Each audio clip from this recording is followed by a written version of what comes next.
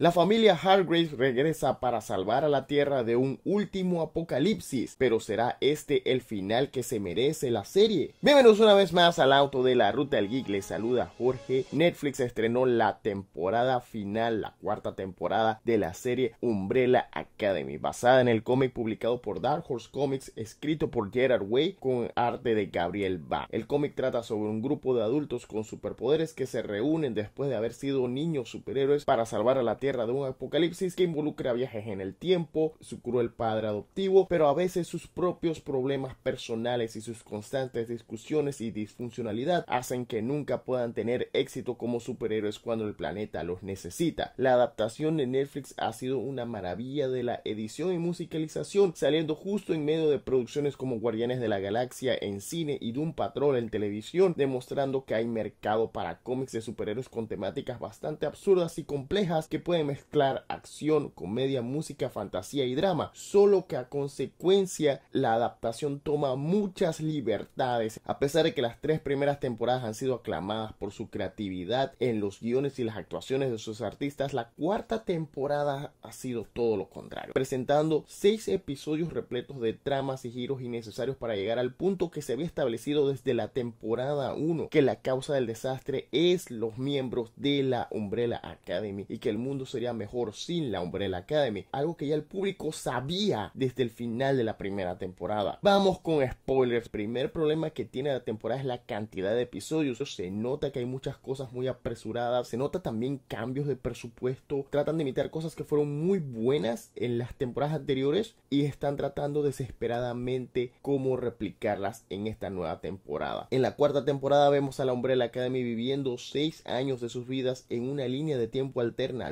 del final de la tercera temporada. Nunca recibieron sus poderes ya que nunca fueron reclutados por el señor Hargraves. Número 5 descubre un grupo llamado los Guardianes que tienen memorias y objetos de diferentes líneas de tiempo y diferentes dimensiones y que están esperando un evento llamado la Purga que involucra a una chica llamada Jennifer y una sustancia llamada Miracle que es la clave de los poderes de la Umbrella Academy. En el proceso los muchachos recuperan sus poderes y descubren múltiples realidades alternas y llegan a la conclusión de que tienen que borrar sus propias existencias dentro de la historia del mundo para poder salvarlo. La temporada trata de mezclar muchas tonalidades de otras series que han salido después de Umbrella Academy, que tratan de hacer una versión reversa del final de la segunda temporada de Loki, con Árbol representando realidades alternas también. Se siente bastante apresurado, se siente que necesitaba más episodios de los seis que les dieron y que simplemente los escritores no sabían qué hacer con personajes como Adrian Gallagher, que lo vimos crecer durante la serie y ahora que es un adulto lo coloca en una relación amorosa dentro de la narrativa con la esposa de su hermano. También no saben qué hacer con el personaje de Elliot Page, que durante las tres primeras temporadas fue prácticamente el personaje más poderoso de este universo. Ahora mismo hasta de una zancadilla la pueden ganar. Después de los tres primeros episodios, los tres últimos, uno no siente el interés. Si la vas a ver bingeada, nada te puede interrumpir el binge. Si decides suspender la serie para ir a buscar más comida, cuando regresas no vas a tener el interés de continuar viendo la temporada. Y es una lástima que esta serie que inició como un proyecto bien brillante termine teniendo esta situación. Muchas gracias por acompañar este video de la Ruta del Geek. Nos vemos la próxima. Dale like y subscribe.